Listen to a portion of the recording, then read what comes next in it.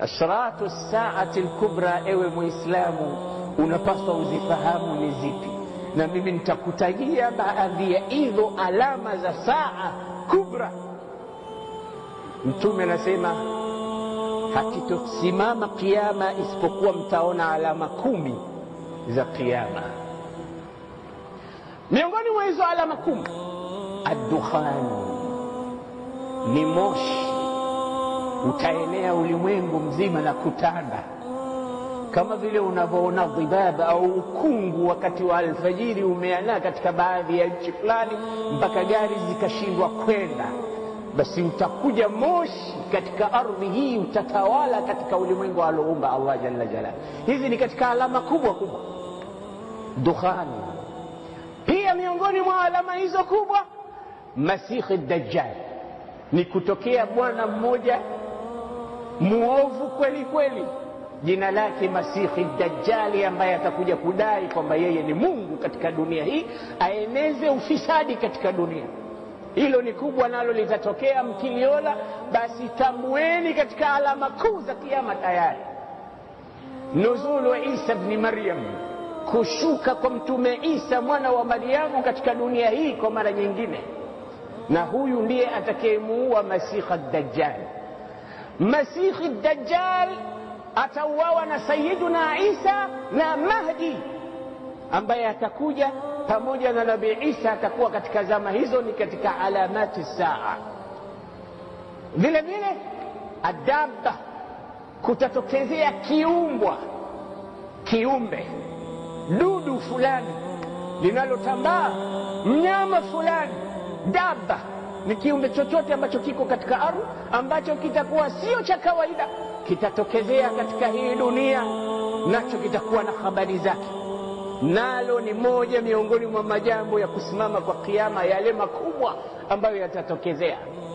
Vile vile ya ajuju wa majuju wa khurujuhu, hili kabila au watu wanaoitwa ya ajuju wa majuju nao watatokezea, nao ni miongoni mwa watu ambao nao vile vile watakuwa na habari nzito katika dunia hii, ulimwengu huu ambao sisi tunaishi. Lakini pia thalathatu khusuf, kutatokea maharibiko makubwa ya ulimwengu, mitetemeko au fasadi ya hali ya juu ya khurbani lardhi, katika pembe tatu au sehemu tatu katika hii dunia.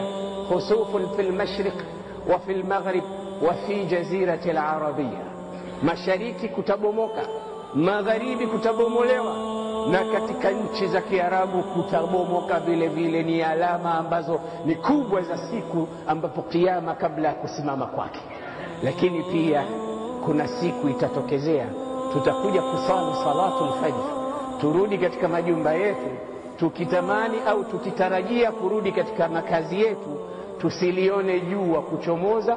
Usiku bado utaondelea utaendelea kiza hakiondoki.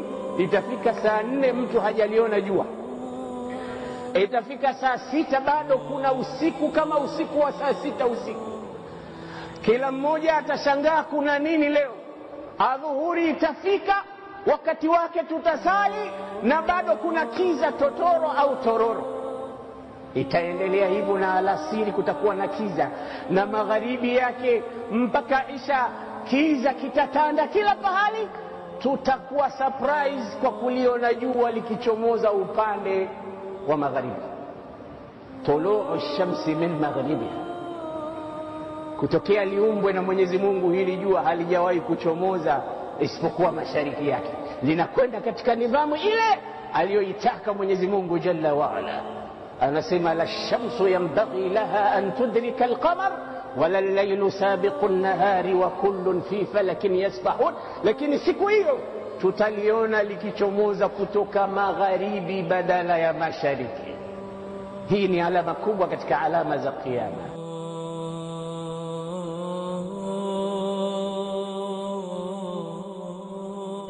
موجة علامة يكتب علي وتوبة إذا, إذا طلعت الشمس من مغربها litakapochomoza jua litakapochomoza jua kutoka upande wa magharibi kwenda upande wa mashariki. Mwanadamu hapo toba yake itakuwa basi. Kama una dhambi yako umefanya basi utakwenda kuhesabiwa nayo. Hiyo ni ndogo au ni kubwa. Dhambi yoyote utakaokuwa nayo. Hakuna tena mlango ya rabi nisamehe. Ya rabi toba. Hamna toba tena. Wakati huo ukifika hakuna tauba la tanfau nafsun imanuha lam takun amanat من قبل au kasabat fi imaniha khaira nafsi haitosaidiwa chochote na imani yake na kuamini kwake. Kabla ya hapo ikiwa haijaamini kabla ya hapo. Au ikiwa mwenyewe hayalitumia katika nafsi yake kheri haitosaidia kitu. Baada ya tuluu shamsi min maghribiha baada ya kuchomoza jua upande wa magharibi. Kwa hiyo wakati huo kabla hujatoka hapa na kabla malaika mauti haja kufikia au kabla hajachomoza jua kutoka upande wa maghrib basi ujue kwamba unatakikana ufanye tauba kila wakati kwa kujiandaa na safari ya akhira